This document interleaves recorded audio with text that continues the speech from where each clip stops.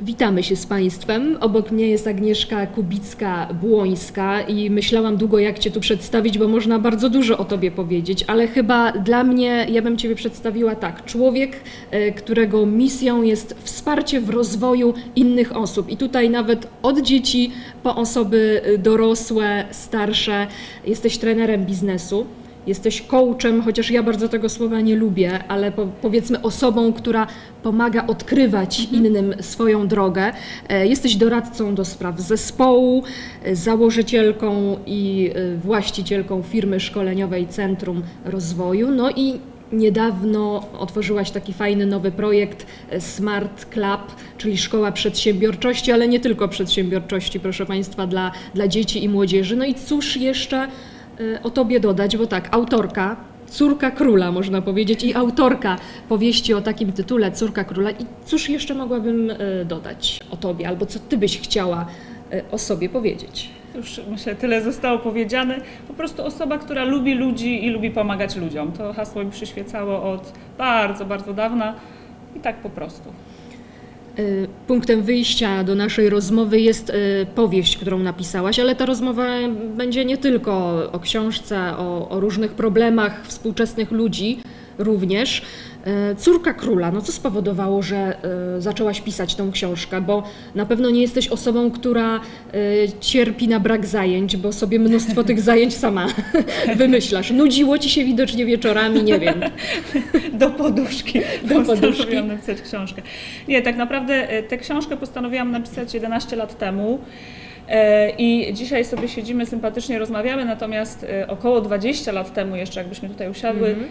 Po pierwsze bym tu pewnie nie usiadła, bo mam tak zakompleksioną osobą Mhm. i nieśmiałą, e, nielubiącą siebie, osobą, która była totalnie nieasertywna, osobą, która nie wierzyła w siebie, która e, jakby z racji, jak się później odkryłam, jakby, że to jest przyczyną tego niskie poczucie własnej wartości, która miała problem z budowaniem relacji, z realizacją jakichś celów życiowych e, i jakby z tego miejsca przeszłam taki niezwykły proces, że dzisiaj możemy tutaj siedzieć, że dzisiaj faktycznie robię te różne rzeczy, po prostu realizuję, spełniam swoje marzenia. E, I przede wszystkim to, co dla mnie jest najcenniejsze, bo jakby te rzeczy na zewnątrz, one są ważne, ale ja lubię siebie, czuję się osobą kochaną, czuję się spełniona w życiu. Wiem, że to może dziwnie brzmieć jak na osobę, która ma 37 lat, ale ja jestem szczęśliwa po prostu. Ja wiem, że jeszcze dużo rzeczy przede mną, ale mnie już jest dobrze w życiu i dobrze mi w środku, czuję się spokojną osobą. I jakby ten proces, który przeszłam przez te 20, e, ki- kilkanaście lat, taki, taki kluczowy jakby proces zdrowienia, takiego wychodzenia z niskiego poczucia własnej wartości, na jakimś etapie tego, tego procesu wychodzenia z małego myślenia o sobie, z e, niewierzenia w siebie, nielubienia siebie, powiedziałam sobie tak, chciałabym kiedyś pomagać takim ludziom, którzy też mają niskie poczucie własnej wartości. No ale właśnie, ty to robisz już i, o, i to od 15 lat, tak, Tak. mówisz. Tak. Y, właśnie robisz, działasz w tym temacie, ale chyba no, coś spowodowało, że chcesz, żeby coś po tobie zostało takiego Tak. namacalnego, żeby było to spisane w Tak. książce, tak? Tak, bo jedną rzeczą jest jakby prowadzić szkolenia, prowadzić doradztwa, a drugą rzeczą jest, mnie brakowało takiego narzędzia i ponieważ lubiłam pisać też od, od dawna, y, w 2013 roku wydałam moją pierwszą książkę Wbrew Nadziei, ale chciałam spisać te różne rzeczy, opisać ten proces. Ludzie mi bardzo często zadają pytanie, ale jak to się stało, że ty jesteś dzisiaj w takim miejscu? I chciałam mieć takie narzędzie, słuchaj, no to w 5 minut trudno A, no tak. opowiedzieć, ale mam, jest książka, którą napisałam i która przedstawia cały ten proces, całą tę drogę jakby dochodzenia do tego miejsca, w którym jestem dzisiaj. I właśnie 11 lat temu pomyślałam sobie, że chciałabym to kiedyś spisać w książkę, tylko chciałam, żeby się zakończył ten główny proces taki mojego wychodzenia z niskiego poczucia własnej wartości. Kiedy on się zakończył, ta główna jego część, 4 lata temu, zaczęłam ją pisać, ale wtedy napisałam stron, e, nie bagatela, 15 tylko i jakoś tak temat ucichł, bo, bo było właśnie dużo różnych innych aktywności. E, Rok temu wróciłam do niej, miałam ambitny plan, że ją dokończę do, e, do 2018 roku, do grudnia. Też się nie udało, a w tym roku, w czerwcu, zapadła decyzja i w No, wakacje trzeba udało się usiąść i, Tak, i pisać, tak, no tak, bo tak, to tak, nie jest... e, Tak. Taki akt twórczy jest e, pracochłonny i my sobie czytamy, ale ile tam jest godzin pracy, przemyśleń, zmian, poprawek, tak. e, to tego nie wiemy. No to tak może osobom, które tutaj nas słuchają, oglądają, przybliżymy krótko o czym jest ta książka. Ja powiem tak, główną bohaterką jest Hanna Wiktorowicz. Właśnie i Hanna, i Wiktorowicz. Nie wiem, czy tutaj jest jakieś e, jeszcze ukryte znaczenie. E, I to jest kobieta, która e, w momencie, kiedy opowiada swoją historię, prowadzi dom dla kobiet z problemami, z trudnościami w życiu różnymi. Y, Ten dom się nazywa Wiosna, ale w tym momencie, kiedy ją poznajemy, no ona już jest osobą właśnie z takim ugruntowanym poczuciem własnej wartości, y, ze szczęśliwym życiem, ze szczę- z szczęściem, z którym dzieli się z innymi, ale tak wcale nie było, to był też proces. I ten proces cały jest tutaj y, opisany. I y, no, od razu czytelnikowi nasuwa się pytanie, ile autorka włożyła swojej historii w Hannę Wiktorowicz. Czy ty jesteś Hanną Wiktorowicz? No z tego co wiem, nie prowadzisz jeszcze domu dla kobiet, Nie.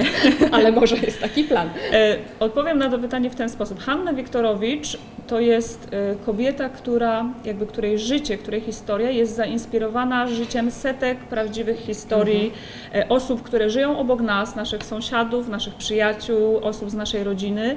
e, Zainspirowana życiem realnych ludzi i powiem tak, dla mnie nie jest jakby istotne wskazać, które elementy są z mojego życia, które z, z kogokolwiek innego. Dla mnie istotne było tak e, stworzyć tę historię, żeby każda osoba, która ma jakiś problem z niskim poczuciem wartości albo ma wokół siebie ludzi, którzy mają to niskie poczucie własnej wartości, żeby w tych zdaniach, w tej historii odnalazła siebie, żeby, żeby zobaczyła, że o, to ktoś też ma podobny problem jak ja, czyli te pierwsze opinie, które już do mnie spływają po przeczytaniu e, książki Córki Króla e, od różnych osób, że słuchaj, ja w tych zdaniach znajduję siebie. Wczoraj dostałam informację, wiesz co, 90% tej książki, tej historii to jest o mnie. Ja widzę siebie w tych zdaniach i o to mi właśnie chodziło, żeby, żeby osoby, które mają z tym problem, odnalazły się w tych zdaniach, żeby stworzyć taką historię, w której każdy człowiek będzie mógł, z tym problemem będzie mógł się utożsamić w jakiś sposób. I dzięki temu jakby zobaczyć, jakie są wskazówki, jak wyjść z tego trudnego miejsca. Mhm.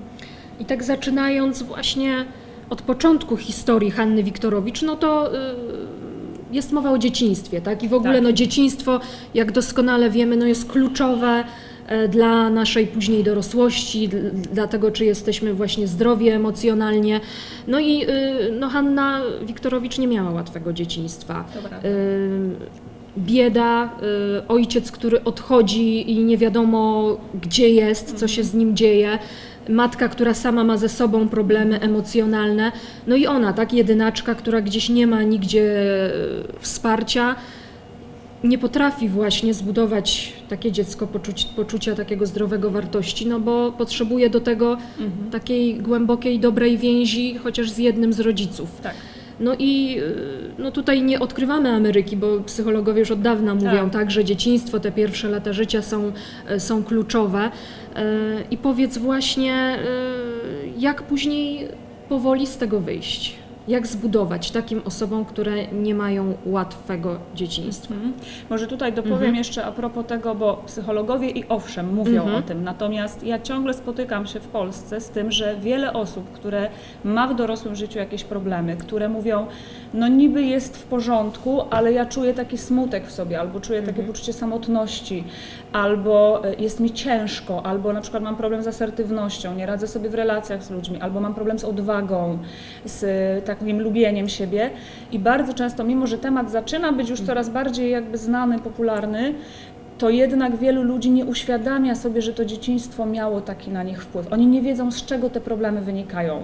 I jakby próbują to rozwiązywać w różny sposób, czasami powtarzając sobie, e, jakby nie mam nic przeciwko jakimś afirmacjom, ale powtarzając sobie, jestem zwycięzcą, jestem zwycięzcą, uda mi się, a jednak wciąż coś im, coś, coś im tam gniecie w środku, bo nie uświadamiają sobie, że takich rzeczy nie da się załatwić powtarzając sobie tylko jestem zwycięzcą, tylko trzeba zrobić porządek w tym, co wydarzyło się gdzieś w przeszłości, dotknąć jakby tych ran, które miały miejsce w dzieciństwie, bo czasami to są faktycznie takie poważne rzeczy, jak tutaj w przypadku Hani Wiktorowicz, bohaterki książki, e, że ją zostawił ojciec, że później e, jest próba samobójcza mamy, że e, że miała brata przyrodniego alkoholika, tak? Więc y, to są takiego dużego kalibru raczej problemy, ale to czasami może być zdanie usłyszane od nauczyciela pod tytułem Ty niczego w życiu nie osiągniesz. To może być czasami e, surowy rodzic, który jakby z dobrej, e, w, dobrych, w dobrej wierze chce e, dobra dla dziecka i on wymaga od dziecka, punktuje dziecko tylko za jakby osiągnięcia, a nie dostrzega, że to jest wartością, że dziecko w ogóle jest. Nie okazuje miłości bezwarunkowej i to powoduje po prostu później różne zaburzenia. Ale właśnie tak, no można powiedzieć, każdy z nas miał jakieś y, deficyty, powiedzmy. Czy Wiele każdy z nas spotkał no, osobę, która y, go zraniła mocno i Tak. tak. I, i tak dalej. Jeżeli my nie przepracowujemy Tak. tego w danym momencie w dzieciństwie, tak, Mhm. to później niestety gdzieś to nosimy. Jeśli wtedy jako dzieci, jako mała dziewczynka, mały chłopiec y, nie przyjdzie do nas rodzic i nie wytłumaczy, słuchaj, ale Tak. nauczyciel nie miał racji. Tak. Y, albo nie wiem, koleżanka zrobiła to złośliwie. Jeżeli wtedy ktoś tej rany nie zaleczy, no to niesiemy ją tak później przez życie. Tak. I to jest najczęściej w ten sposób, że dzieci, kiedy właśnie im ktoś tego nie wytłumaczy, one mają taki mechanizm, mózg ludzki tak działa, że żeby sobie poradzić z tym problemem, jeśli nie może go rozwiązać w jakiś sposób, to uczy się od niego odcinać. Odcinać od emocji, odcinać od smutku, od bólu. Ja nazywam to tak potocznie zagryzać zęby i iść do przodu. No bo nie ma wyjścia troszkę, tak? Nie ma kto się jakby zaopiekować, pochylić nad tym problemem. Dziecko ma ranę, ale nie, nikt nie podchodzi, nie mówi co ci jest, daj zajmę się tą raną, więc przykrywa ją czymś, zawija, żeby No, tego nie stara było się widać. być twardym, tak, no bo tak. ogólnie panuje przekonanie, no y, weź się w garść, Tak. tak, no muszę, Musisz być twardy. muszę żyć, no muszę sobie Jeszcze w przypadku poradzić. mężczyzn chłopacy nie płaczą. Tak. Musisz być silny, tak? I siłę się utożsamia z tym, że nie przeżywasz emocji. Mhm. A tymczasem prawdziwa siła jest z umiejętnego przeżycia emocji, między innymi, Mhm. tak? I Ale czy do tych właśnie e, emocji potrzebujemy bliskiej osoby? Bo to nie, czasami nie musi być rodzic. Może mamy przyjaciółkę, tak? której możemy się wygadać. Czy możemy sobie sami jakoś z tym poradzić, ale do tego chyba potrzeba dużej świadomości takiej Mhm. po pierwsze, no właśnie, bo teraz tak, jeśli całe dzieciństwo my się odcinaliśmy od pewnych Mhm. e, jakby wspomnień, od pewnych ran, chcieliśmy o tym nie myśleć, uciec od bólu, pozamykaliśmy to, zaryglowaliśmy w piwnicy, to bardzo często ci, jak, już, jak już jesteśmy dorośli, my sobie nie uświadamiamy, z czego wynika w nas pewien smutek na przykład, czy ból Mhm. i my już nie kojarzymy tego, że to jest związane z tamtym wydarzeniem w przeszłości. Mhm. I szukamy jakby wytłumaczeń w tym, co się dzieje teraz, a to często nie o to do końca chodzi. I teraz, jeśli człowiek sobie uświadomi i ja tutaj no, polecam na przykład psychoterapię fajną, jeśli ktoś Właśnie faktycznie miałam miał... zadać pytanie, czy wszyscy powinniśmy być objęci obowiązkową psychoterapią, żeby e, sobie zbadać te mechanizmy, dojść. No to nie byłoby głupie, ale no NFZ chyba by Nie nie objął, skoro, skoro nie mamy nawet jakichś podstawowych badań profilaktycznych, e, czasami e, poważnych, jakichś dokładniejszych, zapewnionych, to co dopiero, ale chyba każdemu by się przydała, oczywiście z mądrym i dobrym psychoterapeutą. Myślę, że nie rozmowa. zaszkodziłoby. Tak. Na, no, pewnie bym się nie odważała na taki krok, że każdy obligatoryjnie musi przejść psychoterapię, ale na pewno polecałbym, jeśli ktoś widzi, że faktycznie coś mu ciąży, że jakoś tak ma problem, żeby iść śmiało do przodu, że niby wszystko gra, albo nawet nie gra, a nie wie z czego to do końca wynika, e, czy nie może sobie z tym poradzić i się po prostu kręci w kółko wokół tych problemów i nie jest szczęśliwie spełniony, no bo trudno mając małe myślenie o sobie, niosąc takie ciężary z przeszłości, trudno być do końca szczęśliwym i spełnionym.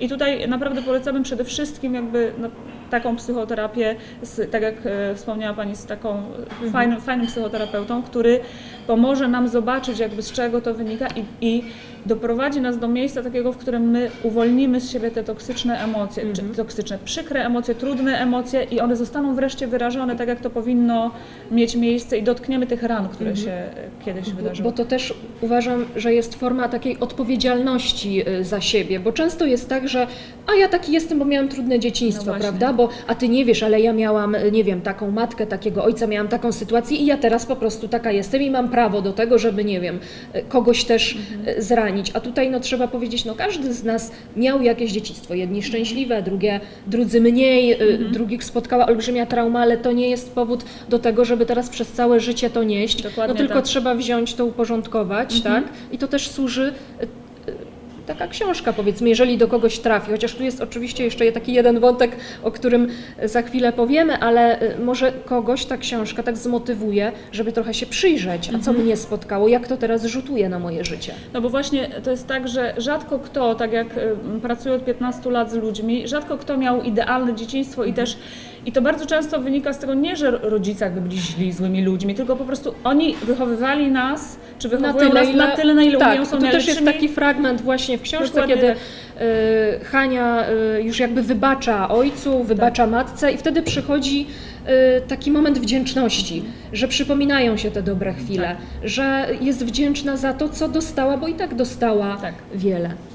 Tak, i tutaj właśnie to, o czym Pani wspomniała, że to nie chodzi o to, żeby teraz całe życie się wytłumaczyć, dlaczego jestem, mam z czymś problemy, no bo takie dzieciństwo, bo właśnie po to napisałam tę książkę, żeby powiedzieć ludziom, że cokolwiek się wydarzyło, bo na to nie mamy już wpływu, nie mamy Tak. wpływu na to, w jakich warunkach czasami wyrastaliśmy, ale zawsze możemy mieć wpływ na to, co my z tym zrobimy i e, jakby jak dalej potoczy się nasze życie. I czy my to usprawiedliwimy i będziemy gorzkimi ludźmi, którzy idą tak przez życie, czy nam będzie z tym dobrze i innym wokół nas, czy my z tym coś zrobimy, bo te, tą książką właśnie i, i przez to, co tam jest opisane, chciałam pokazać, że możemy być wolni od tego, że możemy Tak. być wolni od Tam chorych często mechanizmów. się pojawia y, słowo chory mechanizm Tak. i więzienie. Tak, tak, dlatego że takie mechanizmy, ja to bardzo często obrazuję, to jest jak wiszenie na takim łańcuchu chorego mechanizmu i my czasami, no przykład, ktoś ma małe myślenie o sobie i chce spróbować, chce na przykład zmienić coś w swoim życiu, spróbować nowej pracy, wie, że coś mu się tam kiedyś marzyło i chciałby pójść w tę stronę, ale coś go trzyma, jakby coś go ściąga cały czas w dół i to jest taki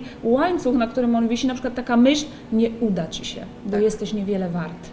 I, I teraz mówię, powtarzanie sobie jestem zwycięzcą nie załatwi sprawy, tam trzeba załatwić coś, co spowodowało, że ten człowiek uwierzył w to, że jest niewiele wart y, i y, jakby można się tym zająć, można wyjść z, tych, z tego więzienia właśnie Ale to też rzeczy. wymaga y, pracy, nie? Oczywiście, I to jest tak. proces. I tu Tak. też y, Moje dużo jest w tej, tak, dużo w tej książce jest o procesie. Tak. To nie jest tak, że ja sobie pójdę dwa razy, nie wiem, do psychologa, psychoterapeuty, czy nie wiem, sama zacznę się zastanawiać i wypisywać y, i szukać y, tych mechanizmów, które dzisiaj powodują jakieś problemy.